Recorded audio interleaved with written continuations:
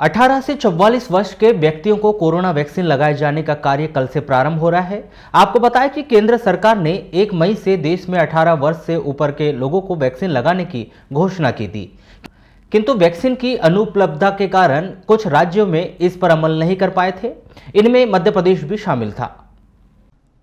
पाँच मई एवं छः मई को सिर्फ़ बालाघाट मुख्यालय के शासकीय पीजी कॉलेज में टीके लगाए जाएँगे। इन दो दिनों में मात्र 100-100 व्यक्तियों की जिन्होंने पूर्व में अपना रजिस्ट्रेशन करा लिया है।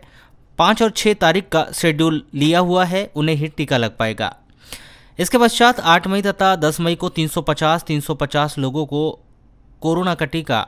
बालाघाट के पीजी कॉलेज वारासोनी के कृषि उपज मंडी में तथा लांजी के शासकीय कन्या उच्चतर माध्यमिक विद्यालय में टीके लगाए जाएँगे। उसके बाद 12 मई 13 मई तथा 15 मई को बालाघाट, वारासिवनी, लांजी, बैयर एवं कटंगी में 520 520 लोगों को टीके लगाए जाएँगे। इस बीच 45 वर्ष से अधिक आयु के व्यक्तियों को पूर्व निर्धारित कार्यक्रम के अनुसार अनवरत टीके लगाए जाते रहेंगे। टीकाकरण अधिकारी डॉक्टर परेश उपलब्ध ने सभी पात्र व्यक्तियों से टीका लगाने का निवेदन किया है ताकि कोरोना की बीमारी से हम स्वयं को बचा सके।